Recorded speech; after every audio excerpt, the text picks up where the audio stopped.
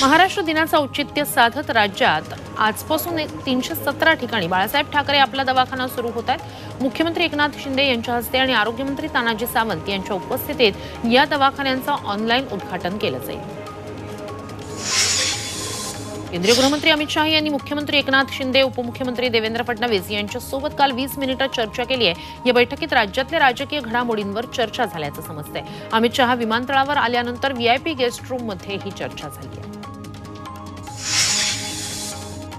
मुंबईतील मवियाची वज्रमूठ सभा ऐतिहासिक होईल असा विश्वास ठाकरे गटाचे खासदार संजय राऊत यांनी व्यक्त केलाय.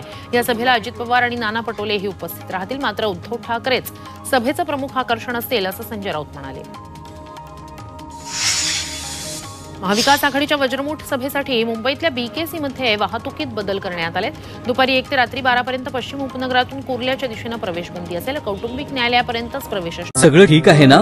ही सांधेदुखी व्हेरिकोज व्हेन्स डायबिटीज अस्थमा तुमची काय व्यथा आहे? आता चिंता नाही कशाची? नम्मा होमिओपॅथी आहे पाठीशी. नम्मा होमिओपॅथी आरोग्य संजीवनी. तर पूर्व उपनगरातून सुनाभट्टी ते बीकेसी कनेक्टर उड्डाण पुलावरून वाहनांना प्रवेशबंदी असेल.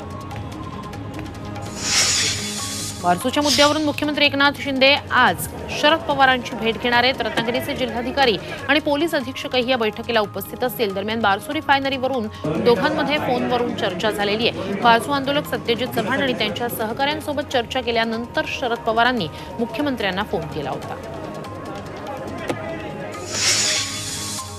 कोकणातील बारसू रिफायनरीला विरोधी पक्षनेते अजित पवार यांचा पाठिंबा असल्याचं दिसतंय. बारसू प्रकल्पात कोणी राजकारण आणू नये हा प्रश्न संवेदनशीलपणे सोडवावा अशी भूमिका अजित पवार यांनी मांडली आहे. कायदा हातात घेऊ नका अशी सूचना त्यांनी सरकारला केली शिवाय विरोध करणाऱ्यांशी चर्चा करा असा सल्लाही दिलाय.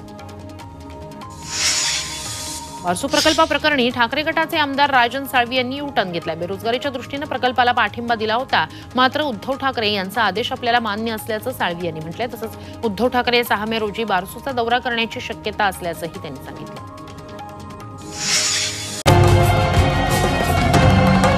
छत्रपतींचा विचार म्हणजे